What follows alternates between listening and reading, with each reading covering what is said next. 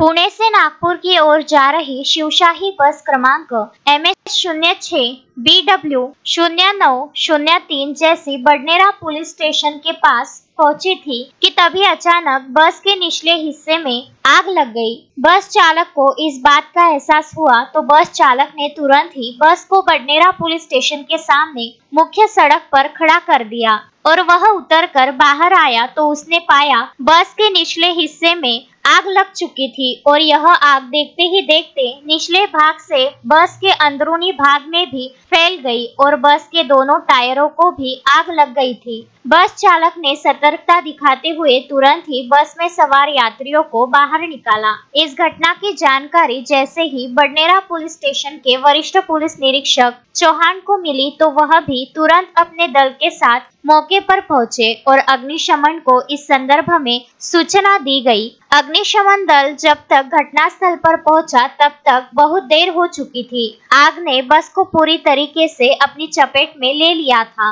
लेकिन एक बात समझ से परे है कि आखिर शिवशाही में निचले भाग में ऐसी कौन से उपकरण लगे थे जिसके चलते यह आग लगी और इस आग ने बस के अंदरूनी भाग सहित टायरों को भी अपनी चपेट में ले लिया।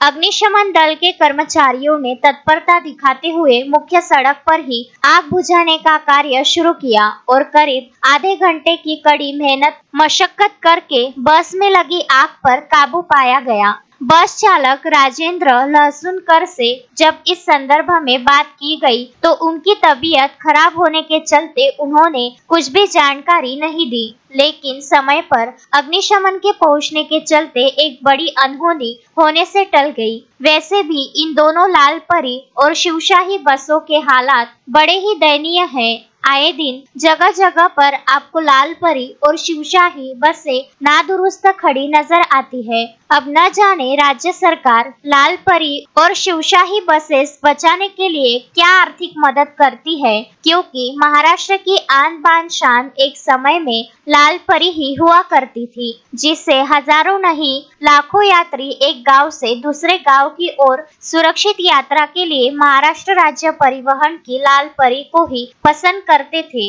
लेकिन अब उनकी जगह धीरे धीरे निजी लग्जरी बसों ने ले ली है। बडनेरा पुलिस स्टेशन में इस घटना के संदर्भ में, मामला दर्ज किया गया है, एवं आगे मामले की जाँच वरिष्ठ पुलिस निरीक्षक चौहान के मार्गदर्शन में की जा रही है। शोएब खान के साथ साबिर हुसैन, विदर्भ न्यूज़, बडनेरा।